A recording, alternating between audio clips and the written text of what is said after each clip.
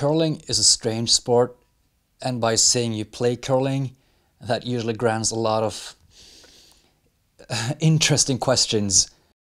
Some of the questions are good, but more times than not, you get the same questions over and over and over and over again.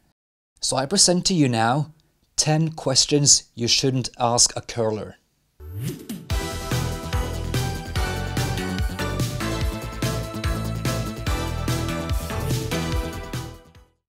But before we start, I just need to kind of set the premise a bit.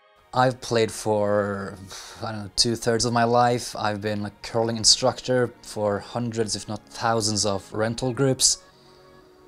So, yeah, I do get the same questions a lot. And, uh, of course, I'm always professional, I always answer them with a smile and with happiness, but sometimes I still kind of die inside. So, uh, that's where I'm coming from here. But if you're a curler, I guess that you've gotten some of these questions as well. And if you have never curled before, welcome to you. Uh, here are 10 questions you should not ask a curler. because I am here now and I will answer all those questions for you. Sounds fair? Nice. Number one, is this real ice? Yes. Yes, it is.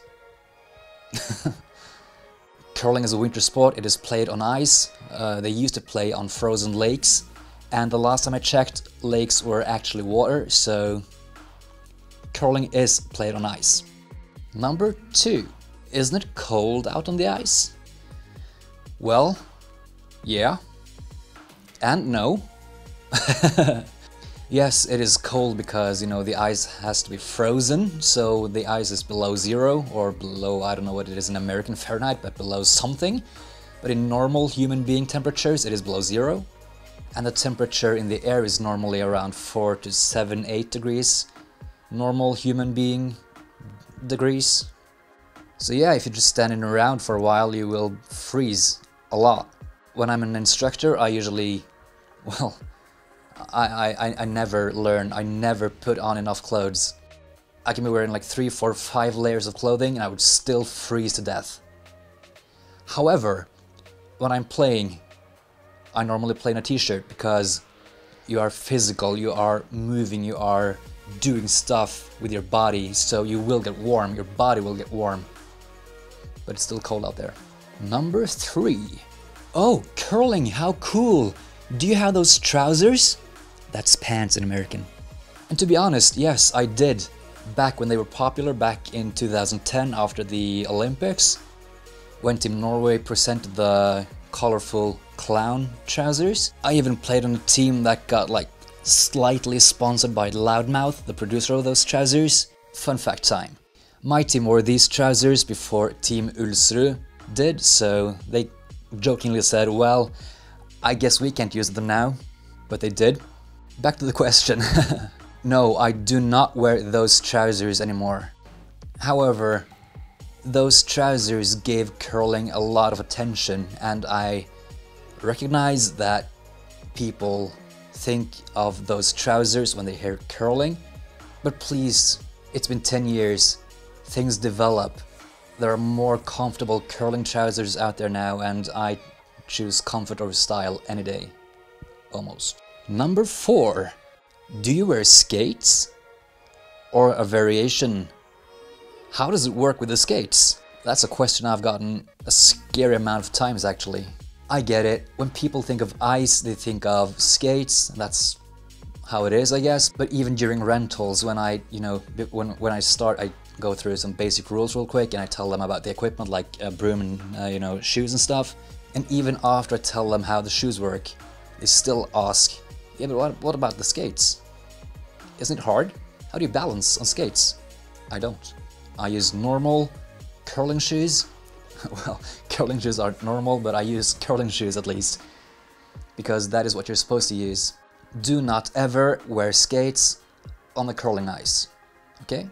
On behalf of all ice makers in the world, thank you. Number 5.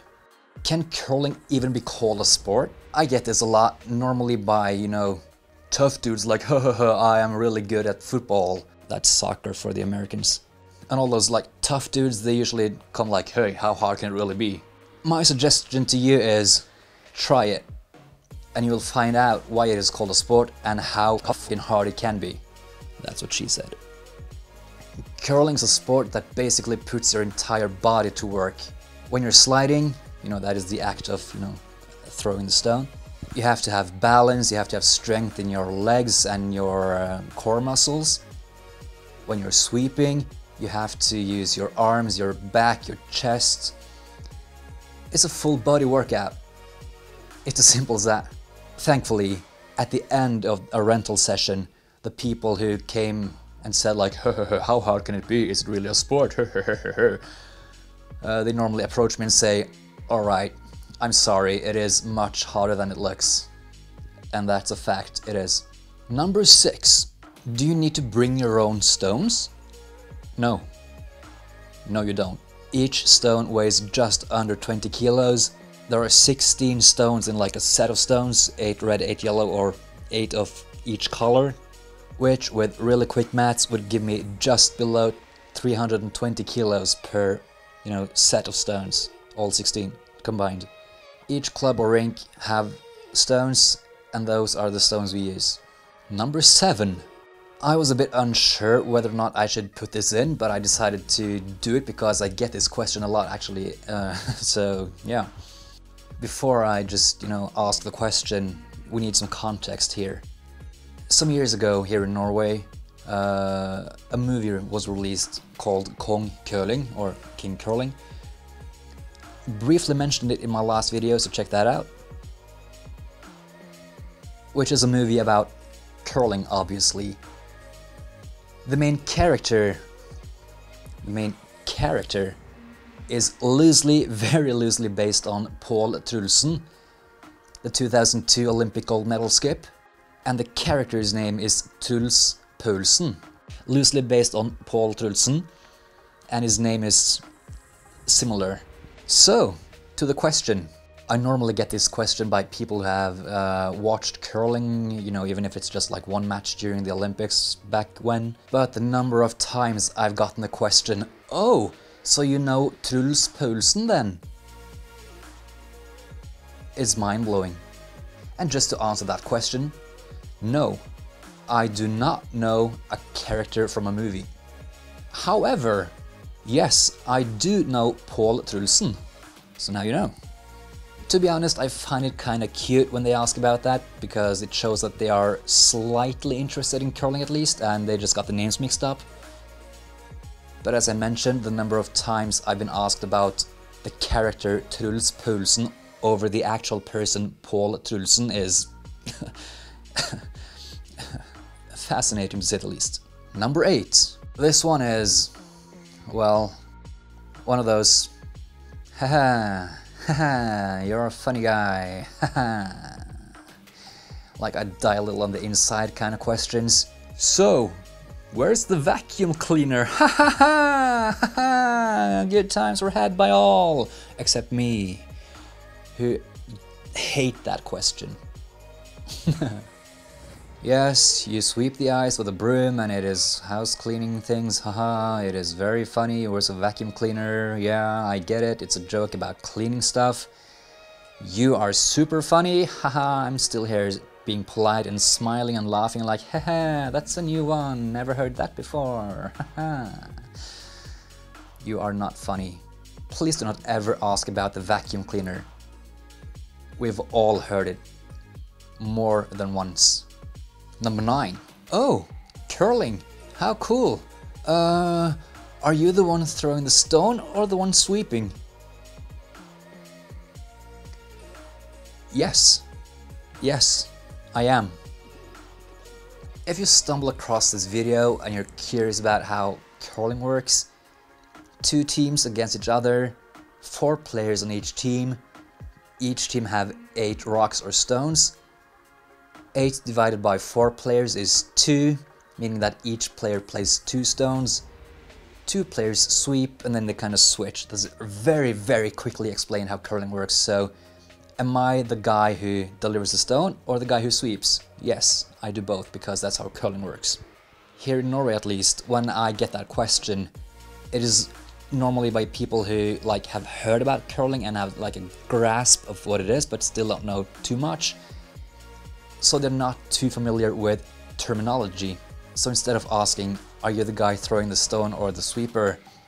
They try to, you know, show it with like mimes of sorts. Like, are you the one? Or the one? It's slightly adorable and slightly creepy because it looks like they're having a seizure. Number 10. This is this one is also more of a statement more than a question. Oh, you play curling, how cool! I bet your house is super clean! Haha! I am really funny! Who came up with that question on the spot? Haha!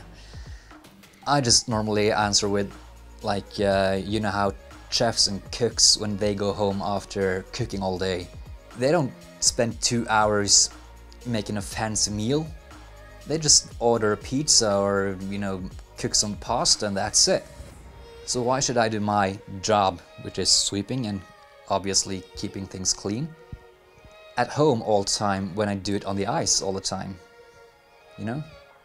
See, when I give that kind of semi-serious answer to that very funny question, they normally go like, oh yeah, haha, I guess you're right, yeah, haha, oh that's a dumb question, haha, yes it is, it's a very dumb question, you're right, yeah, haha, yeah. And you know what? Let's just throw in one. Maybe the worst of them all, the worst question you can ever possibly ask a curler. This is actually the worst. I just want to face palm and it makes me cringe every time. Oh, curling! I guess that a lot of women play curling because, you know, sweeping and housework, oh, we're having a jolly good time here, I'm so funny, being sexist and all. No.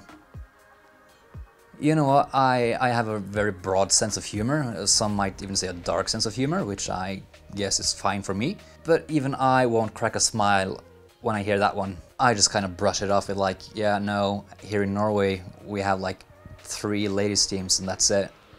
We are far more male players than female players. And they're like, oh yeah, uh, uh, yeah, hmm, alright, good to know a very, very good advice for me. Do not be the guy who asks that question. So that was 10 plus questions you should never ask a curler. We've heard them all before. You are not funny, but then again, don't get me wrong, do not ever be afraid to ask questions about curling. All curlers I know, and I know quite a few curlers, uh, love to answer curling questions, even I do except those I've just mentioned. I do not like answering those, but I will answer them with a smile if they are asked, but I will die on the inside as well. So to any curlers out there, what is your least favorite question to be asked? Tell me down in the comments below and I'm sure we'll have something in common. so that's it for now I guess. Uh, I will see you again next time. But if you don't want to wait until next time, you could always watch uh, that video or this video. Uh, and the time until the next video will feel a lot shorter because you know you'll spend time watching those two videos and maybe even more. Yeah, you go do that, and I will see you again soon.